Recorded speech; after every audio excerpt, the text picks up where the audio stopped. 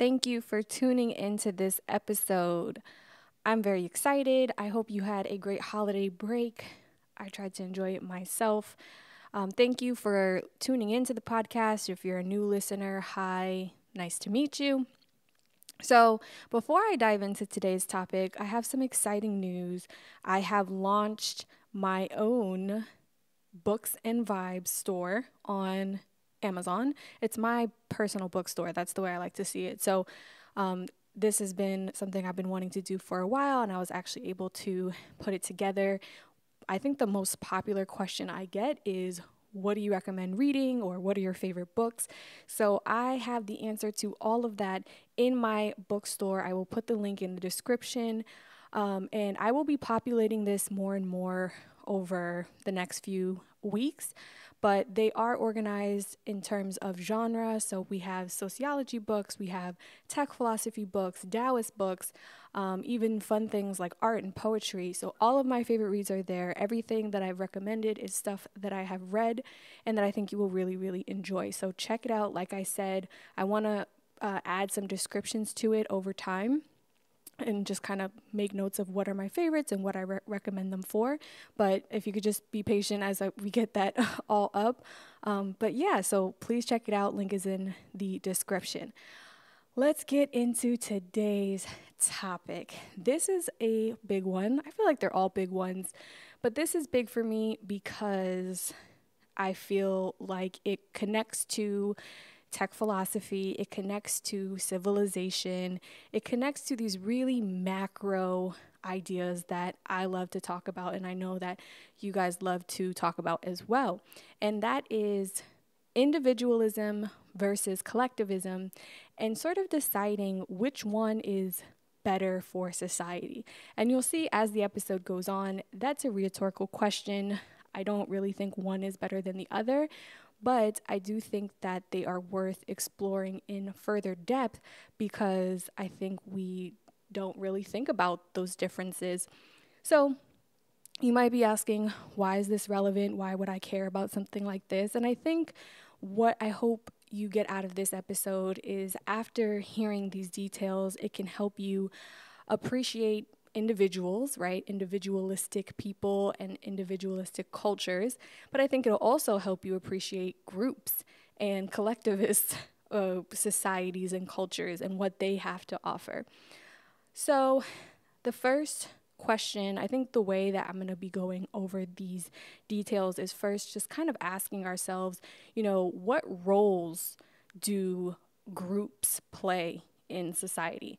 Now, when I say groups, when I'm talking about collectivism, I'm talking about groups like schools, it could be preschools, it could be colleges, it could be committees, it could be networks of people, it could be corporations, just groups of people, what role do they play in society? That's a question we'll be exploring. And another question we'll be exploring is, of course, what roles do individualists play in society? And that is definitely the rebels and the outcasts and the people who just do not want to conform or fit into the expected, um, you know, expectations that they have. So, I don't, like I said before, I don't think one is better than the other. I think it's definitely more about having balance. And we definitely have to start off this conversation by acknowledging that the United States is a very individualistic nation, right?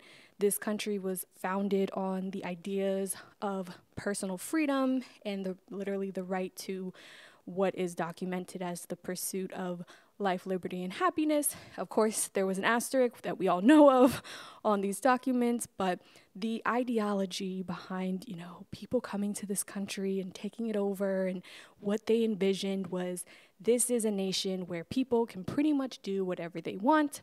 Um, and as I said, there are asterisks to that. We know that that is not 100% fact, but what is fact is that the theory of that was real and I think still is real and is practiced all the time.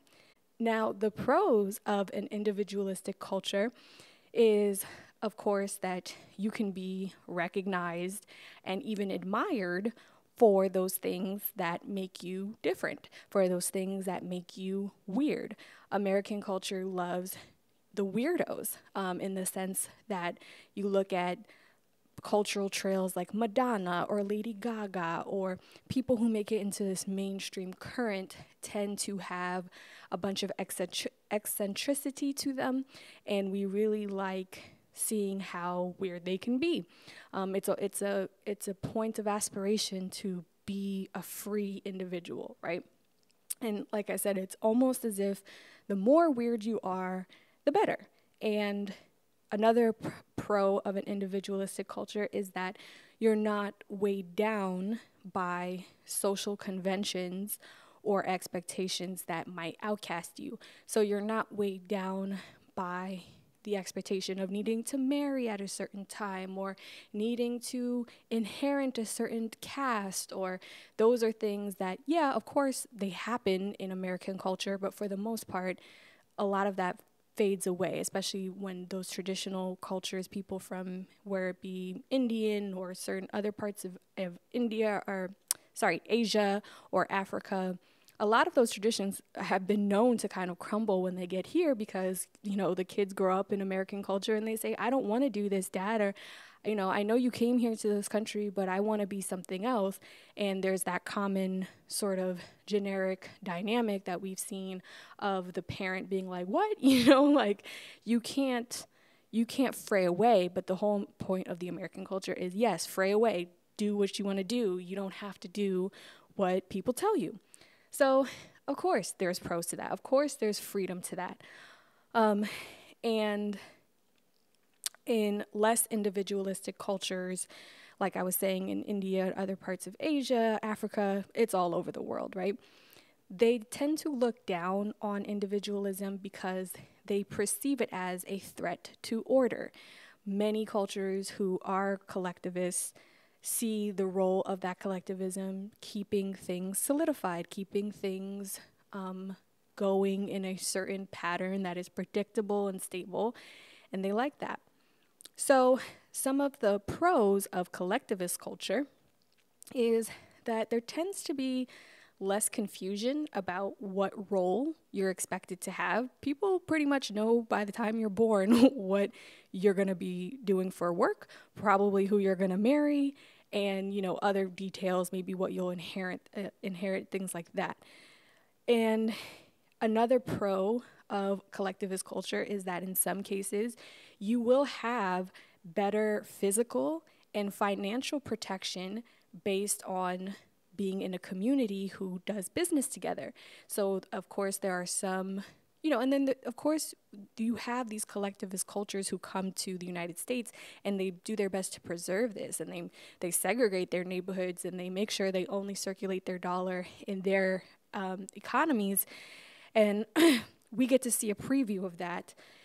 And for those of us who grew up with less of that collectivist um, ideology, and so you get to see like, wow, you know, I remember going to school and some of my um, some of my Jewish friends were inheriting buildings, you know what I mean? And they knew that as kids. And I'm like, damn, that's nice, you know? So th- those are certain pros that can come, not always, but that can come and you see more often in collectivist ideologies. So, and cultures. now, let's start talking about some cons here. Um, some of the cons about individualistic culture, and now we're back to individualistic, by the way. So, some of the cons about individualistic culture is you might not have that same kind of protection, right? That physical protection, um, meaning like you might not live in a neighborhood where someone could just run up on you um, and or, without punishment. Like you might live in a neighborhood where you're more vulnerable and someone can attack you, which is a real fear. And growing up in New York, you know, I've always wanted to feel like I'm protected on the streets that I'm on. And so when you come from a more collectivist culture, um, and that could be again some of some of it can be foreign um, cultures that are coming in, but you can see those cultures sprout up in American culture. Um, I know growing up, I was in some neighborhoods with lots of gangs, and there was this code of ethics of who you could and could not kind of mess with on the street including um, not just other gang members, but family members and, and um, you know relatives and stuff like that. So, a con of the individual individualistic cultures, you might not have that same kind of physical protection and, of course, that financial protection. If it's one man for themselves, that means there's less likely that there's a net to fall back on, a financial net, or just general credit, uh, being in an ecosystem of people who have credit. Those things make a huge difference for your livelihood. So it can be harder to defend your ideals or even your sa- physical safety all alone. Now, um, another con eh, is on the emphasis on individualism is that it can sometimes overwhelm people with too many freedoms, too many options of what to be as far as career or maybe even the type of person you want to be, what type of like identity you want to have. And that overwhelm of too much options can get in the way of making us happy, right? It can make us feel more isolated and removed from our communities because instead of having this kind of pre-grooved road of our what is expected, some people don't want all this freedom. They they would rather someone be like, "Hey, you know, we we thought about you before you got here and all you have to do is X, Y, and Z and you'll be good."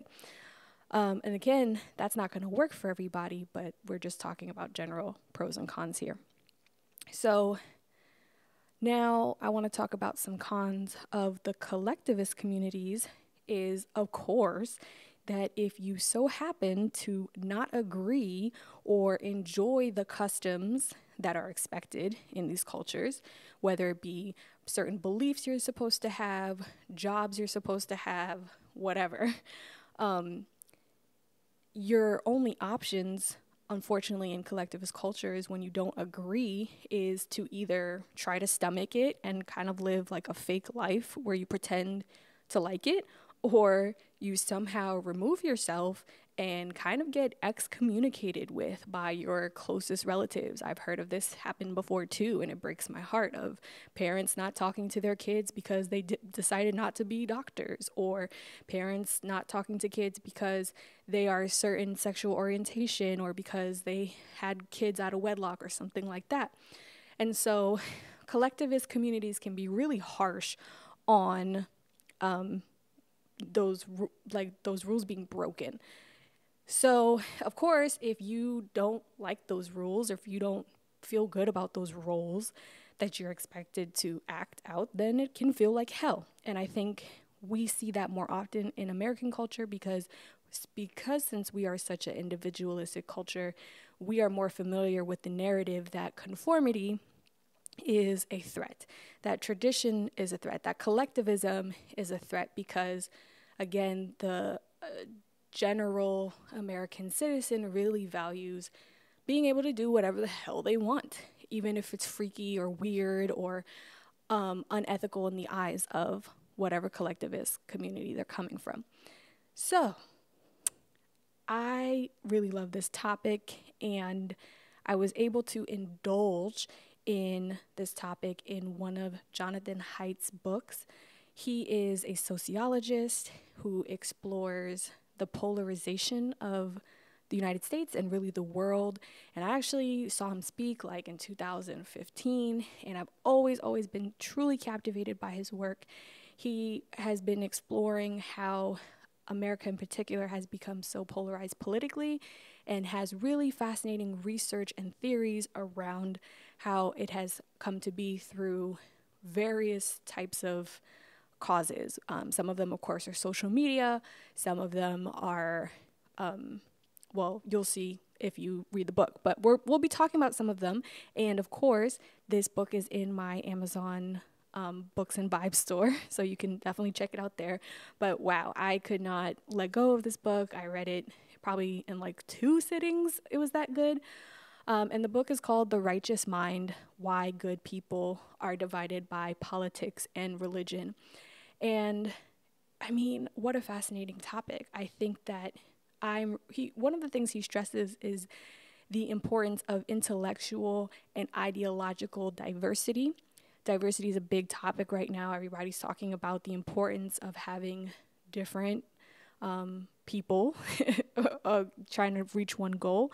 And it's usually focused on race or it's focused on gender. We don't see it so much focused on um, philosophy or intellectualism. And as someone who grew up with a whole bunch of different perspectives and a whole bunch of crazy but loving family members with different ideas, um, I, I always wanted to better understand why people get so polarized about certain topics. And I always saw how much that polarization can cause barriers in communication. And as someone who cares so much about mediums and communication, how can I not be fascinated? So, in this book, he breaks down specifically moral psychology. He kind of talks about um, what it used to be and what it is starting to become. What I mean when I say what it used to be is what psychologists used to think it was, and what research and newfound research is showing that it actually is. And moral psychology is just kind of the fancy way of saying the study of how we determine what is good and what is bad. And moral psychology is the framework we use to instill the ethics in our society. What no matter what society you're in, it has a moral psychology, it has a way general way of understanding what is good and what is bad. And obviously, individualistic societies have a different moral psychology, or the way he puts it, a moral matrix than a collectivist society. And so, one of the quotes I loved from the book is he says, For millions of years, our ancestors' survival depended on their ability to get small groups to include them and trust them. Trust is going to be a big theme that we are going to go deeper into th- this episode. So, um, if there is any innate drive here, it should be a drive to get others to think well of us. That's the end of that quote, by the way. He's basically saying that civilization ha- was formed through this social contract that is morality. And morality is dependent on reputation. And um, it's really, really fascinating. And he kind of talks about how he went from, you know, coming from one moral matrix and not being able to interpret things that he felt were immoral as possibly um, moral to someone else. So, for example, he talks about going to India, and he, I think, was raised in New York or California. I don't know, but he had some pretty, you know, standard um, Western ideology about um, castes and about um, you know, he talks about like he saw women serving dinner and he felt uncomfortable and it made him feel a little squirmish because he felt like women shouldn't be servers.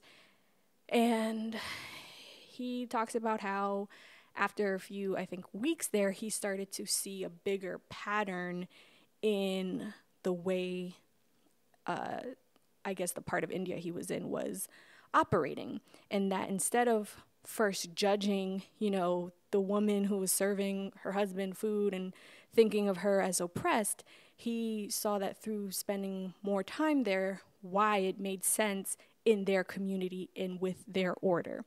So, again, this is fascinating. I really want to make sure I'm not um, implying any good or bad here, but just kind of opening the conversation up because I know this is touchy for people. And that's kind of the point is that how can we start to have these conversations without automatically clamming up and being like, ew, that's bad, or ew, like that's evil, or having that type of judgment. So, he says in the book that individualistic cultures, such as the US, um, Uh, that most of them can be described by the acronym WEIRD, which I think is great.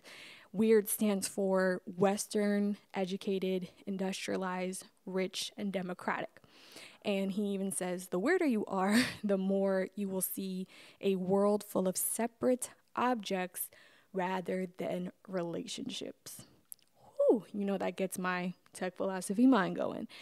The weirder you are, the more you will see a world full of separate objects rather than relationships.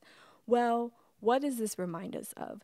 In last week's episode, I talked about how with technological reification, we mistake the map for the territory. We create um, fragments out of one thing that isn't really broken apart. So, the example I gave in the episode was time. Time is not a bunch of separate objects connected together, they're not a bunch of milliseconds connected together. The millisecond is a perception, it's a abstract concept and it really will f up your experience of being in the present if you ex- if you believe that it's little milliseconds tied next to each other. And if you don't see time as this omnipresent relationship and a part of inherent existence then yeah you might have a difficult time almost doing anything because you'll feel this false pressure coming from this um, perception of a world of separate objects. So, whenever you're talking about Western, educated, industrialized, rich, democratic, this acronym he uses, whenever you're talking about Western anything, you're talking about a perception that wants to break everything apart, including us, right? How do you get an individualistic culture? Well, you have to first think that you as an individual are separate from everybody else. and that's what gave people the nerve to kind of come here and take over and pursue these individualistic pursuits and kind of how we are here now. And of course, it has its pros and it has its cons. That's why I covered that first. So, um, his research is showing why um, these larger en- entities that aren't so individualist, that are more about the sum of people um, and the sum of people who compose them, that how how much they are real, how much these groups are not these uh, you know facades. They really matter. And he talks about why they must be protected to keep a certain integrity of humanity and meaning in life. So, in collectivist cultures, people look at individualists as um, you know, they look at this idea of, you know, should you design your own life or pursue your own goals? They see that as kind of selfish and dangerous, which to our American ears or wherever you are, um, can be like, damn, like, what do you mean? It's dangerous for me to do what I want? Well, on a macro scale, it kind of is. Um, because again, the way that a lot of these collectivist cultures have come to be is they see too much individualism as a way to weaken the social fabric and destroy the institutions and collective entities which everybody depends on. So that's a lot to take in because when you start talking about where we are now, when it comes to technology, when it comes to the pandemic, um, we are we, we live in a large anonymous society. We don't really know each other, not the way we used to, as far as a species of humans. And there are a lot of questions that come up about how has that changed us? How has this particular moral psychology worked and hurt and um, have harmed us? So, um, the story about him going to India and kind of realizing over time that, you know, hey, maybe I shouldn't be judging these people for living differently than me. Like, yeah, maybe through my Western eyes, I see this as wrong or oppressive, but if I take a step back and try to see why they do this or if there is a reason why, because the point of this book is exploring how the quickness to dismiss something just because you think it's bad can get in the way of you understanding how it is possible for someone else to see the reason to do it. You know, if you immediately think, you know, and I see this very much with the homemaking stuff. Um, I had a, I had an episode about how much I love to be a homemaker and how this same ideology is quickly applied to homemaking where I noticed as a kid, I would get more stars and stripes because of the, the parents I had. Some parents want you to be a homemaker. My parents were very much like, you know, try to be the president of the United States, like something like super ambitious. They didn't really ask me to do that, but you know what I mean? Like, that was like, it was supposed to be this really progressive push to be like super successful CEO, boss person. And I went and I went and I went and I pushed it to the point that I realized there ain't nothing up here for me. This is actually very painfully lonely. And as a woman, is making 10 times harder for me to connect to any person. Um, I felt very scammed. And I'm like, wait, hold up. My nana had it all right with the baking the cookies and keeping the house nice and having a, fuck, a, a fucking like sanctuary to just relax and rejuvenate in. Like, that's my thing. So that's why I love this type of research because it just creates a little bit more of a pace. It creates a little bit more space between what your moral matrix is and other people's. And um and how much of that has to deal with the way you perceive the way you think the world should work and and also how it actually does. So you may think like, yeah, individualism is great and you know, there should be no problem if we pursue it to its ultimate point. But again, the whole point of this book, the whole point of this podcast episode is really exploring well, hey, maybe there's something about that whole like human beings getting along in groups thing that um, actually can really add some depth to our life. So he has a quote here that I wanted to share. He says, I could see beauty in a moral code that emphasized self control, resistance to temptation, cultivates of, of one's higher, nobler self, and negotiation of the self desires. Woo, just got chills.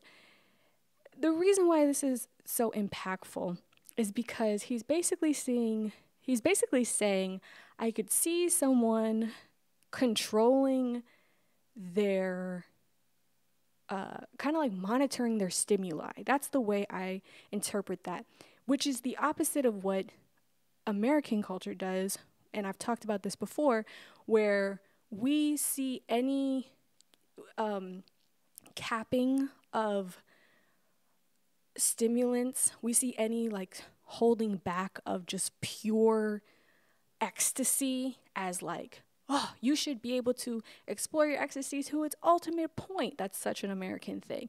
You should be able to just you have whatever you want and there should be you know there's this idea of the abundance going around which i think is hilarious because we are losing natural resources every day and people keep talking about all this abundance yes we are abundant in cash we are abundant in fiat government printed money we are not abundant in water we are not abundant in a lot of these other natural resources that you need to freaking live including the goddamn ozone layer so the talk about abundance is funny. I think it's cute in the sense that yeah, you know, we should we should definitely like see the real abundance that we have as far as just like being, you know, the earth revolving around the sun. That's great. But you know, it's just when we start talking about like Ferraris and stuff like that, I'm like I just roll my eyes. But that's just me. Um because again, here success is exploiting your goals. I I get sick. I'm I forgot. Um, somebody was on the explore page and like somebody was talking about like oh you know, you know um, the universe's plans is bigger. Everything is bigger. Like whatever you think, think bigger.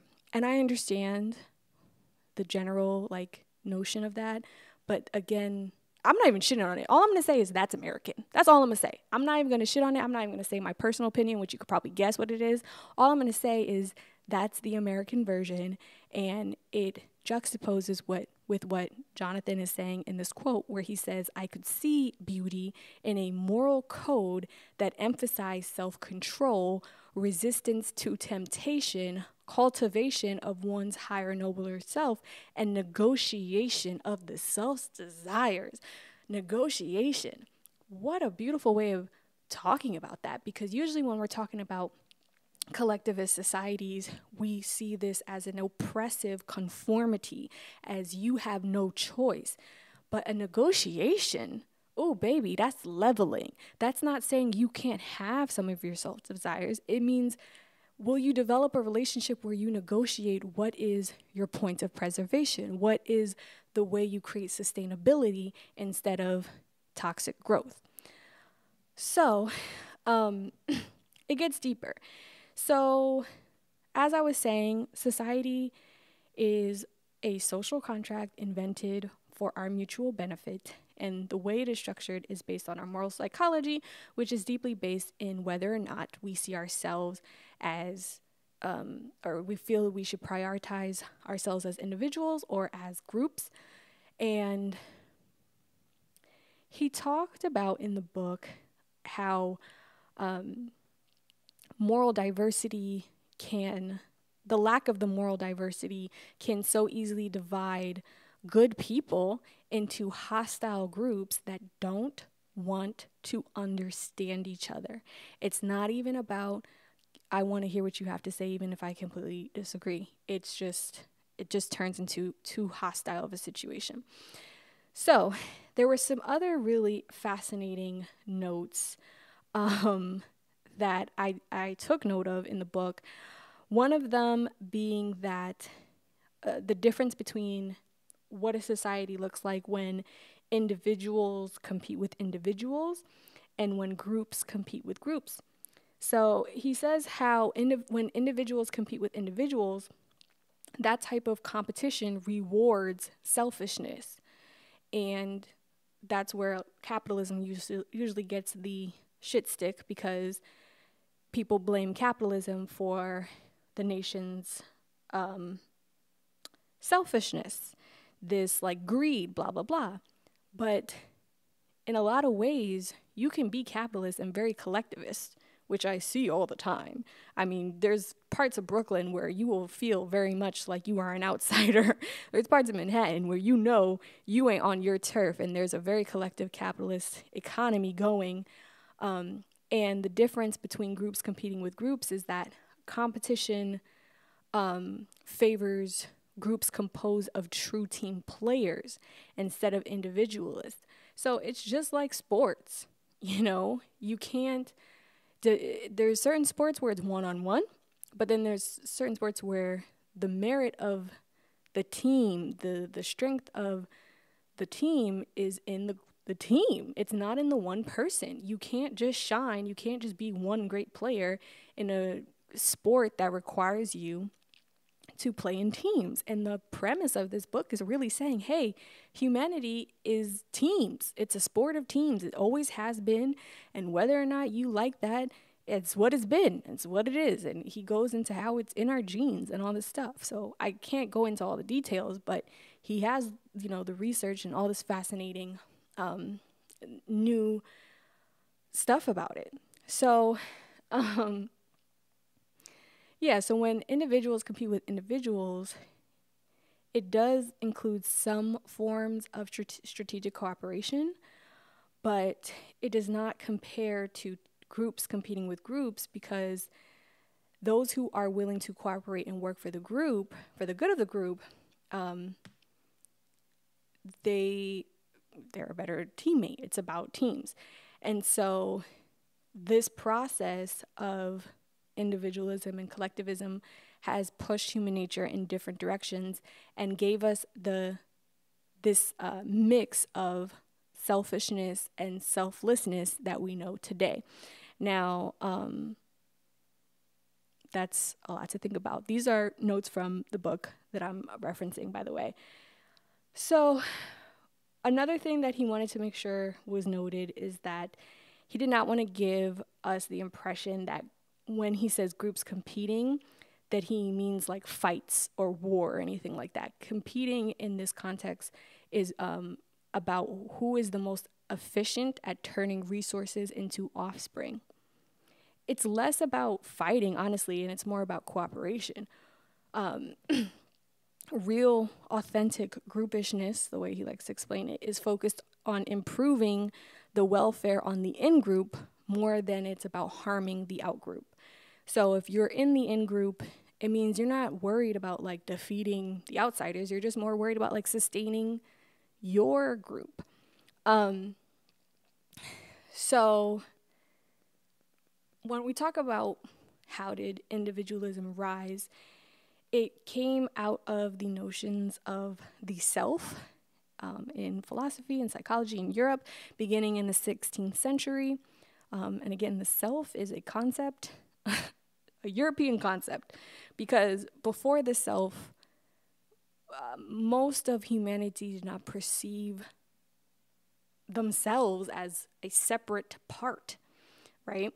But because of this type of psychology, these cultural changes um, they accelerated during the Enlightenment period and the Industrial Revolution, and it is that process that gave rise to the weird culture that I talked about before, the Western, educated, industrialized, rich, and democratic, and he says in the book, I love this, that the weirder, right, the weirder you are, the harder it is to understand what those quote unquote savages were doing. I don't know, I'm sure you've read those um, letters from like Columbus or whoever, and they get to the new land and they have all this nasty stuff to say about the savages and oh my god, you know, they don't wear clothes and blah, blah, blah, And I laugh at those so much because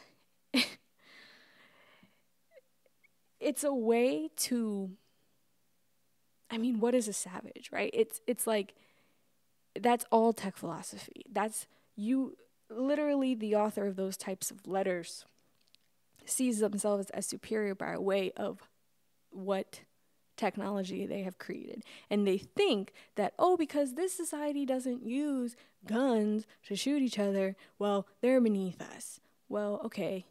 I don't know. It's just, it's, it's sad for sure, but there's humor in it. Call it dark humor. Of, wow, if you needed a better example, a better reflection of what tech philosophy is, read those letters, right? So, another thing he says in the book is that a nation of individuals, um, and he talks a lot about Durk- Durkheim, who was a sociologist and kind of predicted all this stuff way before any of, we had all this like evidence. Not even just predicted just theorized it, kind of put it together and compiled it. Um, I have his book as well. I will make sure. I think I don't know if it's in the Amazon store, but check it out. Um, what Durkheim said was that a nation of individuals um, is likely to be individualists is likely to be hungry for meaning. Well, remind you of anything? Depression skyrocketing up, anxiety skyrocketing up, general sense of like lostness skyrocketing up. so, one last note before I go into the trust dynamic that I wanted to break down is Haidt says that, um, you know, they, they ran some tests, I guess, and they found that it was oxytocin that is produced when people feel bonded to people. And they showed that the oxytocin binds people to groups and not to all of humanity. So he talks about how the desire for the whole world to kind of do a kumbaya and it doesn't matter what you look like or where you're from, we should all just hold hands. That it is so theoretical and so non human that literally our um, bodily responses don't respond to that. You will only, your, your um, oxytocin will only bond you to a group, it cannot bond you to strangers. It cannot bond you to random people all over the world. Um, and I forgot what study they did, but it's all in there and it goes into detail. But it was something like they kind of just like tested people, I think people who were like, who grew up around them and then like random strangers, whatever. It was very fascinating, but you know, I grew up with, again, relatives with very differing views, and some of them were these really nice, theoretical, oh, if we could all just hold hands and get along in the whole world. And it's, it's like, hell yeah, sign me up, world peace, oh yeah. Like, who doesn't want to believe that that would be awesome? It is awesome to believe that. But again, the point of the book, the point of this conversation is that science shows that we bond more to groups, which it's like, I mean, couldn't we have guessed that, right? It's really important as someone who I guess I consider myself a realist, also love my, my Zen practice, my Taoism practice, is to not force my projections, to not force my um, ideals onto the nature of reality. It is what it is You know what I mean? Like, it is what it is that, okay, we are species that, it doesn't mean we have to go to war. It doesn't mean we have to, like, hate each other. But I think it would really offer some clarity when we better understand that we have self domesticated by a way of creating groups and civilizations. And the groups can be small, they can be large. But the point is, to try to force everyone to get along is unnatural. Not even just, I think, I think civility is possible, but sincere love for everyone, I don't know, up for debate. Let's take it to the lab, right? All right. so, what does all of this really come down to? What does all of this really come down to? Am I saying, oh, well, we should all just be collectivists and never expand our individual nature? Well, take two seconds to look at my life. You'll see that is not the case. I think I'm one of the most individualistic people I know which is cool in some ways, and in some ways, I've seen how it's been damaging, to be honest. So I'm not, I'm definitely not saying, oh, let's all just conform to like whatever first religion we ha- have for grabs or whatever. No. It's saying that it all comes down to trust. Trust? Well, what's missing? what's missing? Is it about individualism and collectivism as much as it's about trust? We, collectivism happens, and the strength of it, the pros of it, are that you feel like you can trust the people around you. Oh my God, well, that's foreign to American culture. We don't want to get to know our neighbors. We don't want our kids on the street we don't trust nobody. and it's even crazy to think that there was a time where you could trust people. I'm talking about people in your neighborhood. I'm talking about the butcher, the baker, baker, the candlestick maker. Got to write this time. Whoa. Trust? What's that all about? Yes, trust. It's rare. Oh, it's hard. Oh, if you're in business, you know you know that when you're in business, after a while, you're like, it ain't about this. It ain't about the website. It ain't about the followers. It ain't, it's about T R U S T. That's what gets shit done in the species. That's what gives meaning in the species. That's what collectivism has to offer. That is what individualism takes away for the most part if it is extended too much. So he talks about this in the context of gods and religion. He says gods and religion in some are group level adaptations for producing cohesiveness and trust, which I agree with, but I think it can even be expanded outside of gods and religion. It could be a company you work for, it could be a network or whatever. Um, but I think he was just talking about like how it all got started, right? So when we're talking about ancient Rome, blah blah, yes, for for sure, religion was used as a way to create groups um, for producing cohesiveness and trust.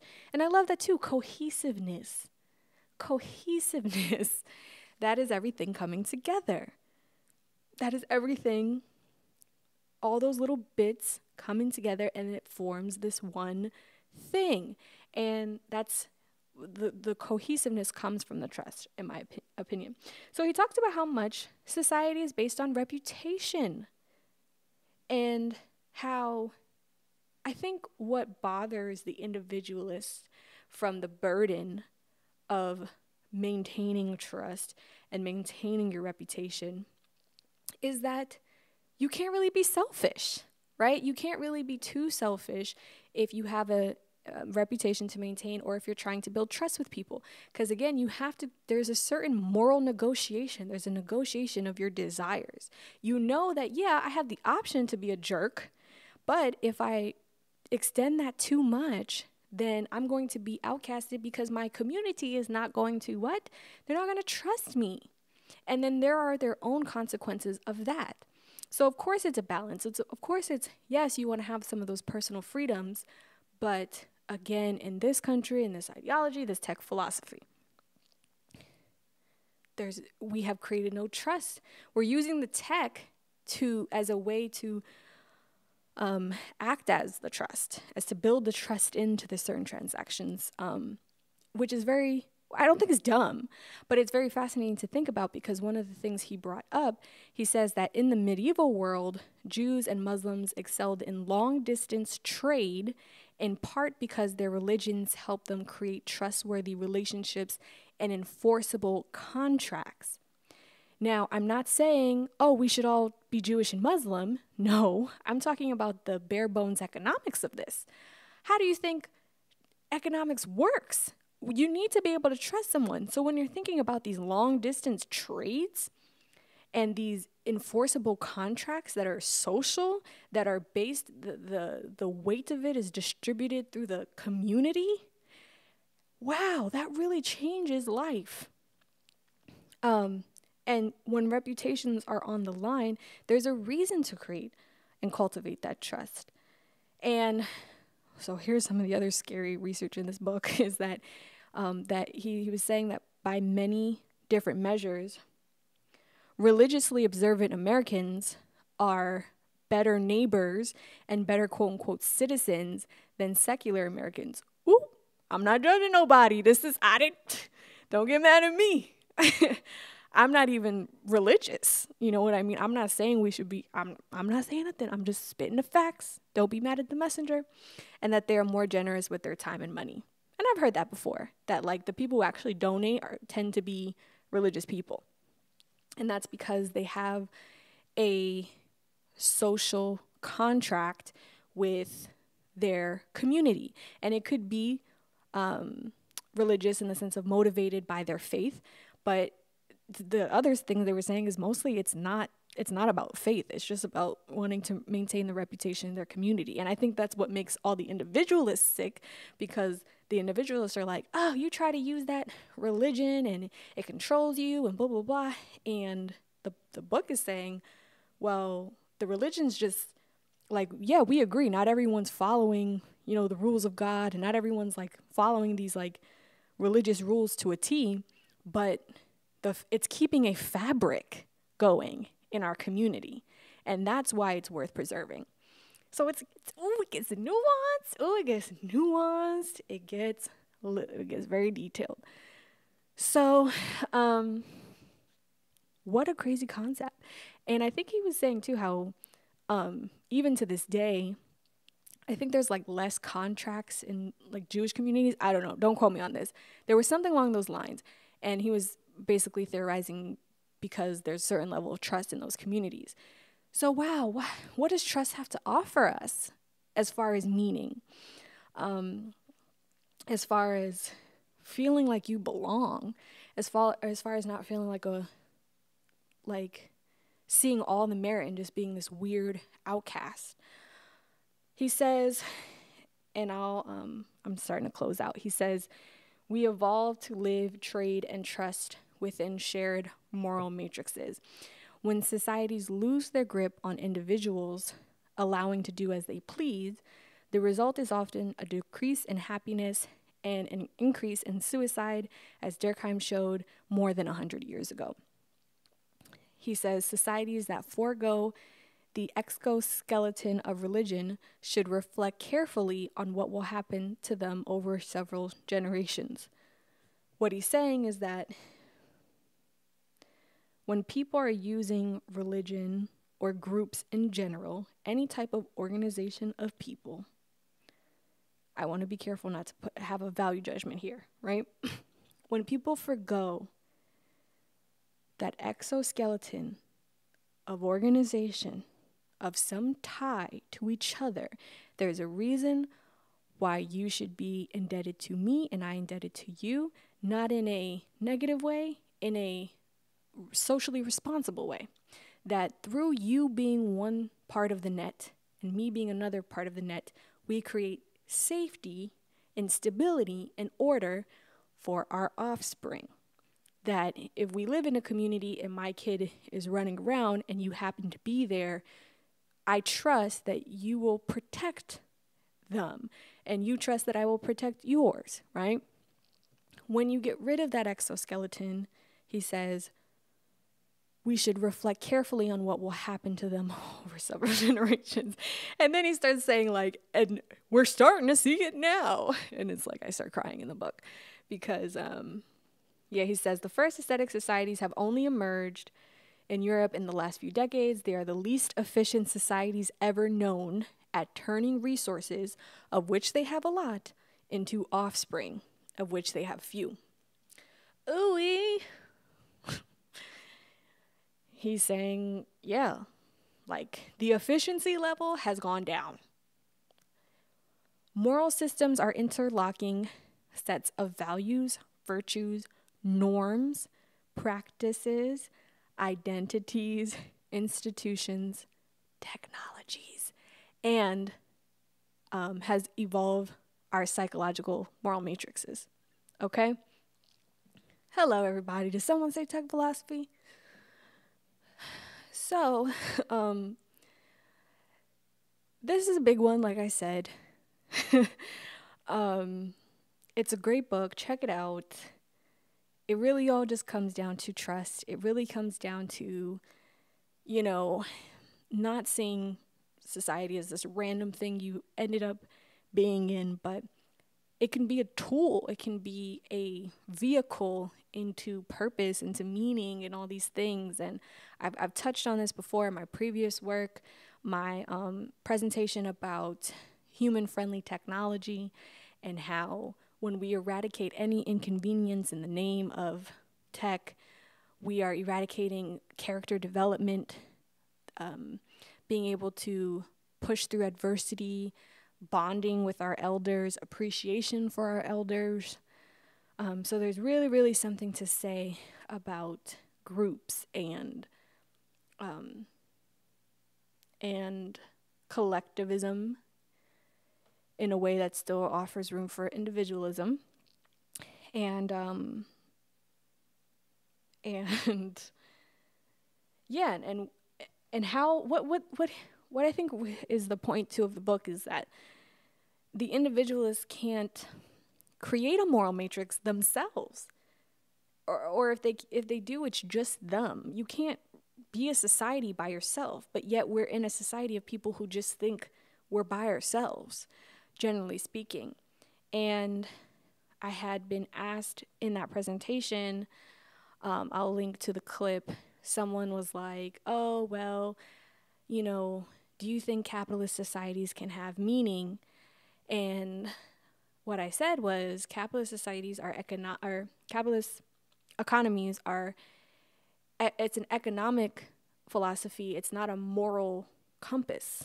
Like people tend to think that capitalism makes you evil and uh, I guess whatever, like I think it can aggravate that for some people. But the point, more than I'm trying to defend capitalism, the point of what I'm trying to say is like, most of this shit depends less on your economic philosophy and more on your moral compass. Because there's really nothing that threatening about free trade when your moral compass is like sustainable and healthy for you and your community. But if your moral compass is just about how to be the number one, only individualistic, I don't care about nobody self, then yeah. I mean, I don't know how you want to blame that on capitalism. That is Eh, that is a toxic individualist philosophy. That is that weird acronym expressed in its worst manifestation. So, shit, we could that's what all I'm trying to say is like when you start if you're a capitalist and you're thinking with a collectivist mindset this is about how we get money in everybody's pockets we're trying to everybody eats everybody has a plate at the table and we're going to organize ourselves in a way that protects us physically and financially and morally from demoralizing our human nature has anyone thought about that that's how i'd be feeling so thank you for tuning in. Really, really appreciate you. Um, as always, send me a tweet, say hello, share this with someone you think would care. Um, and the conversation continues. All right, bye. Thank you for listening to the Alex Wolf podcast. If you enjoyed this episode, please leave a review. And if you aren't already, make sure you're subscribed to this podcast on Apple, Spotify, or wherever you listen to your podcasts. For more resources on innovation, economics, and culture, visit alexwolf.co slash newsletter and sign up for my email list. Thanks.